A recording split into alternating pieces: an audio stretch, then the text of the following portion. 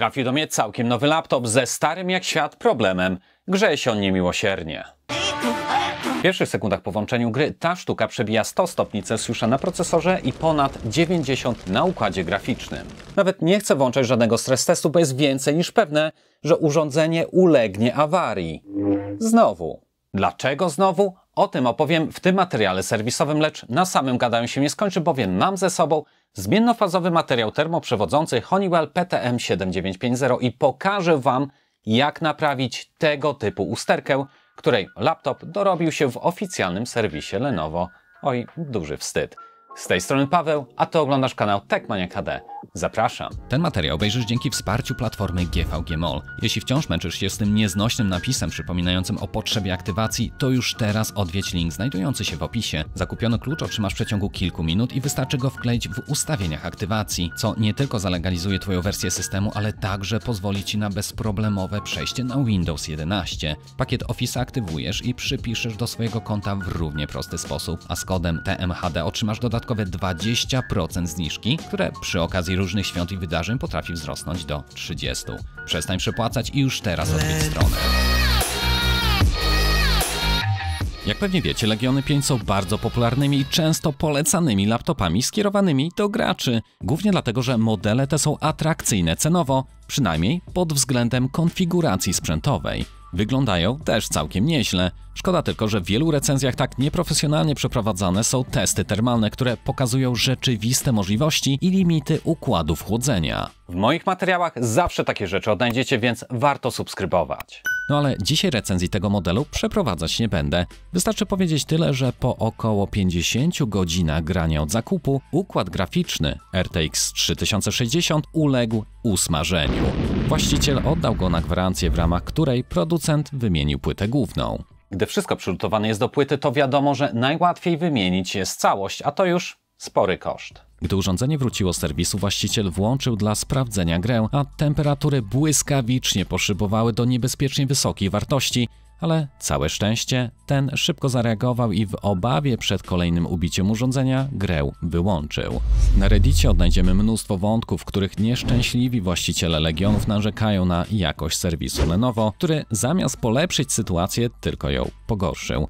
Właściciel pechowego urządzenia przypuszcza, że przyczyną problemu może być źle wykonana aplikacja pasty termoprzewodzącej lub nawet totalny brak termopadów. Żeby nie było, zaleciłem mu ponowny kontakt z serwisem. Gwarancja w końcu jest i obejmuje ona także taką usterkę, a tym bardziej niewłaściwie wykonaną naprawę. Jednak pozbawiony już ostatecznie wszelkiej nadziei i rozczarowany brakiem profesjonalizmu serwisu, właściciel laptopa skontaktował się ze mną. Wychodzi na to, że oficjalny serwis nie stanął na wysokości zadania. Zresztą, sądząc po liczbie wpisów na Reddicie, nie jest to zapewne pierwszy ani ostatni raz, więc nie ma co się dziwić właścicielowi, że ten woli zapłacić z własnej kieszeni za serwis polskiemu youtuberowi przebywającemu w Irlandii, niż być znowu zdanym na łaskę lub niełaskę Lenovo.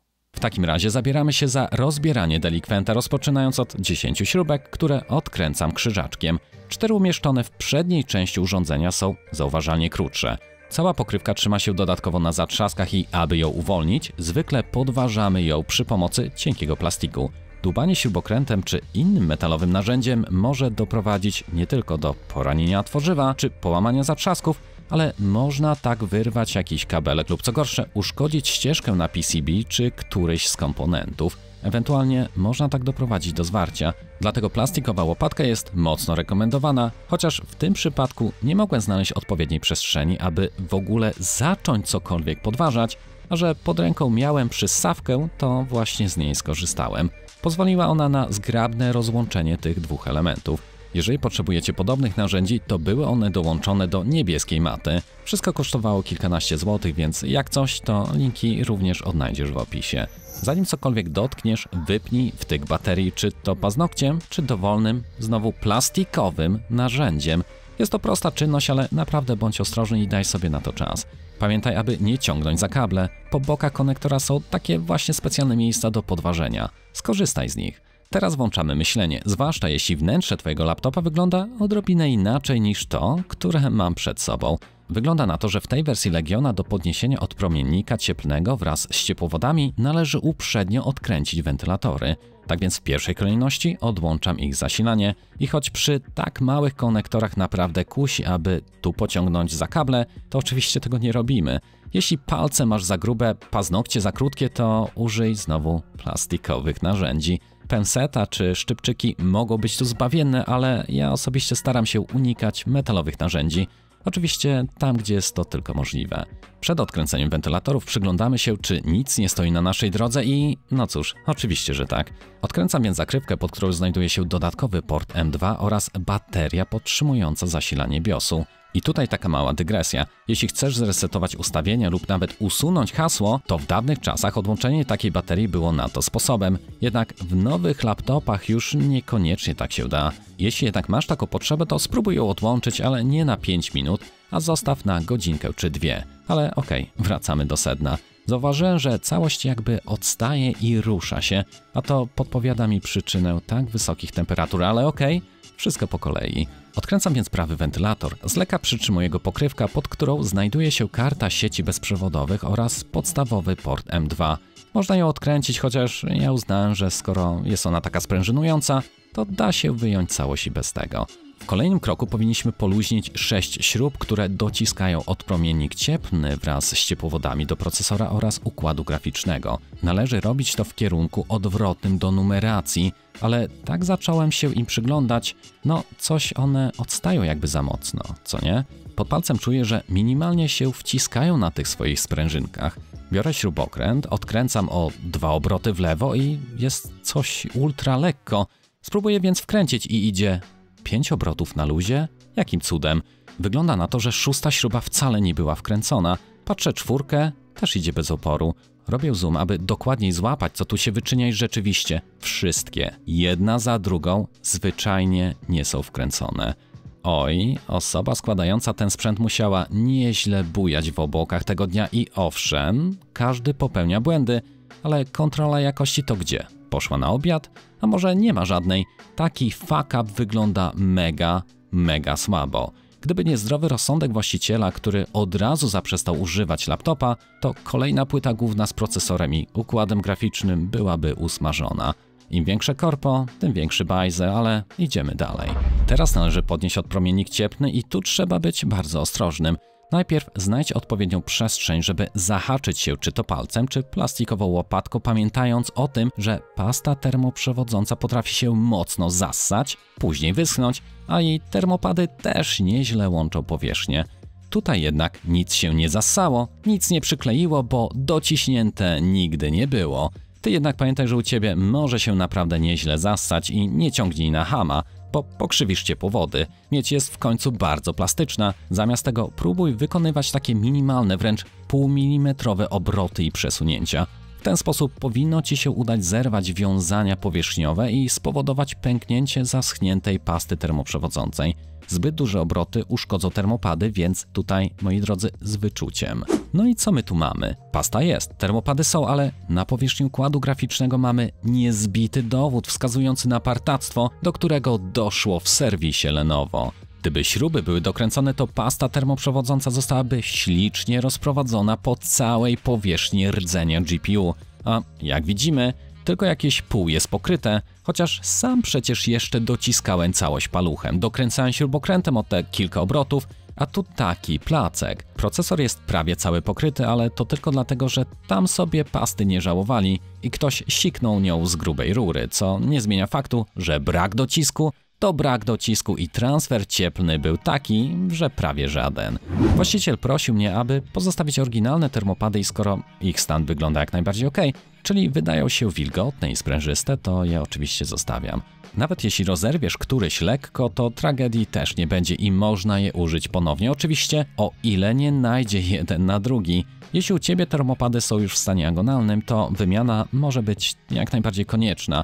Zmierz je suwmiarką, upewnij się na forach i zakup dobrej jakości pady o odpowiedniej grubości. W ogóle tutaj widać, że w górnej części są one trochę dociśnięte, dolne jeszcze nie miały odpowiedniego kontaktu, bo odkształceń praktycznie na nich nie znajdziemy. No cóż, w końcu cały układ chłodzenia trzymał się jedynie na tych śrubkach od wentylatorów. Tak, powtarzam, cały układ chłodzenia po serwisie Lenovo trzymał się na tych dwóch bocznych wentylatorach. A będąc i przy nich, to jeśli u Ciebie są one mocno zakurzone, to jest to przecież najlepszy moment, aby je wyczyścić. Możesz w tym celu użyć sprężonego powietrza, szczoteczki i tutaj do plastiku antystatyczna ona być nie musi. Odkurzacz też się nada, ale z tym bardzo ostrożnie i pamiętaj o przytrzymaniu wentylatora palcem, aby ten nie wkręcił się na zbyt wysokie obroty, gdyż coś takiego mogłoby go uszkodzić. Teraz czas oczyścić powierzchnię obydwu procesorów, jak i od promiennika. W tym celu wykorzystam alkohol izopropylowy oraz ręcznik kuchenny.